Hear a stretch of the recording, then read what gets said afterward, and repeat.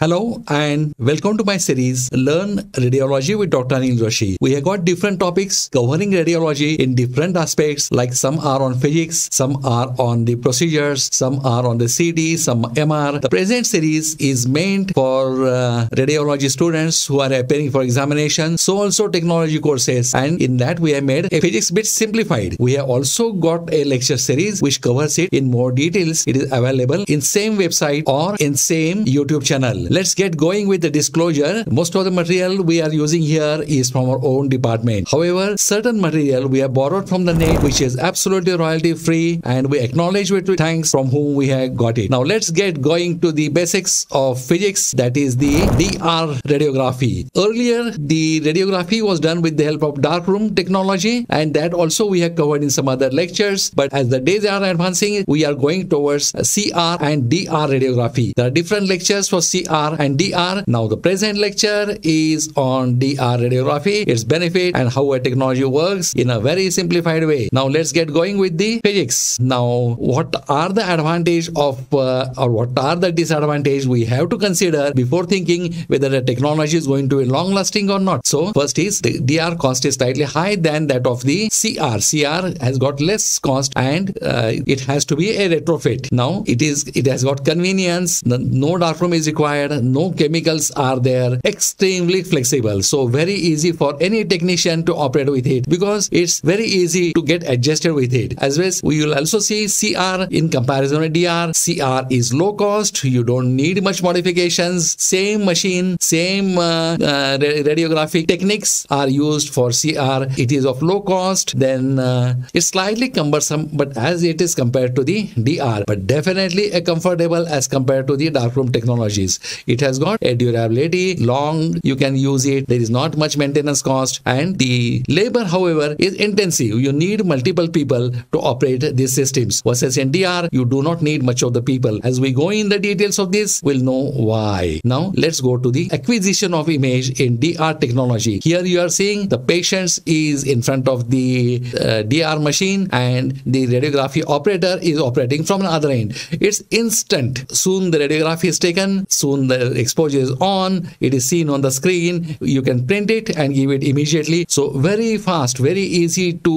operate. Now let's see how a DR image is acquired. Now there are receptors provided for a direct digital output. Now potentially lower patient dose than CR because it is a computerized. It can enhance. So the so also high latitude as compared to CR. Now no processor, no reader required. Images are available in less than 15 15 seconds. So you can have extremely good turnover. Even in a busy department, it can take more workload and comfortable for the patient because there is no repetition. Then images are available in less than 15 seconds. So this is another big advantage and much less work for the technologist here. So just position the patient, click the button and get the image, print it or send it to the tele for the reporting. Now DR image acquisition, how it is done? There is array of light sensitive detectors covered with light emitting X-ray phosphor then light generated by X-rays converted into a charge. Then charge is stored in a capacitor. Then processing with readout of TFT array is done and there is no intervention required in all these process. That is most important thing. So it's very easy to operate and easy for a technician, less troublesome for the patient, good for the patient's turnover. Now DR image acquisition. How acquisition is done? There are flat panel detectors that is called as FPD. Then charge coupled devices are there. They are called CCDs and C CMOS. CCD is charge coupled device. Then uh, there is a slot scanning type of system. These are the slot scanning type of systems. Then we have got photon counting type systems. Now what are the flat panel detectors? Flat panel detectors are indirectly digital radiography. In this X-ray strikes the scintillator producing light. So X-rays are converted into light energy. Then photodiode array convert light into the electrons. This intensifying screen is is made up of cesium iodide crystals and of uh, photo detector is made up of amorphous silicon. Here we are shown in the diagram. Just pause it and have it in more detail. Everything is written. Whatever we have spoken is again here in a diagrammatic way it is written.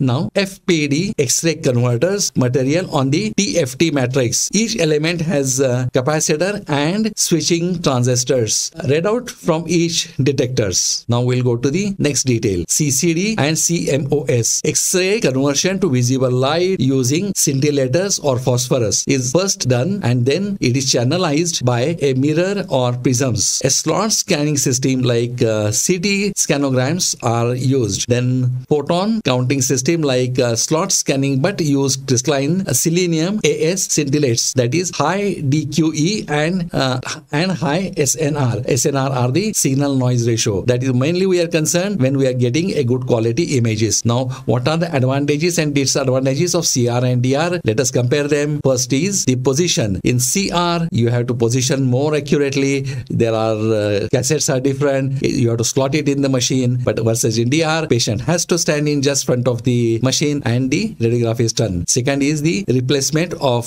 FSR. In CR, we need it more frequently. Then what is system cost? It is high with DR. That is only limiting factor is high cost of DR. That is as on today. But as the days will go, the cost will definitely come down. Then patient throughput is more with DR. Then the ease of operation is much better with the DR. And PACS compatibility is in both, but slightly better with DR. That is, you can get it tele teleradiography, you can send it for the reporting, or you can store it. All are done through that system. Then what is in nutshell? First is CR. It is retrofit advantages, then cost advantages, quality advantages, and they are comparable. Images are comparable. You can store them. It can be compared with other images. Can, two images can be compared with each other. The quality of it can be adjusted because they are DICOM images. Now DR superior quality and throughput is better. It is good for a higher average number of patients because time required for each patient is much less in this. Now there is five year horizon for CR rule at the moment. Now what is the conclusion? Let's talk of the advantages of DR because CR is covered somewhere else. It has got it is it has got better image quality and faster results than accurate detection of the small because you have got good resolution. You have got a DICOM system like to work on it and with that you can also detect a very small lesion. Then it is economical due to the less film cost and less repetition. So less wastage of the film. It is more economical because of all these things. It provides options for dose reductions because computer can elevate or it can modify the techniques later on. Then easy and large storage of data is possible. You have to just increase the hard disk capacity. Then possibility of wireless transfer of the data is possible.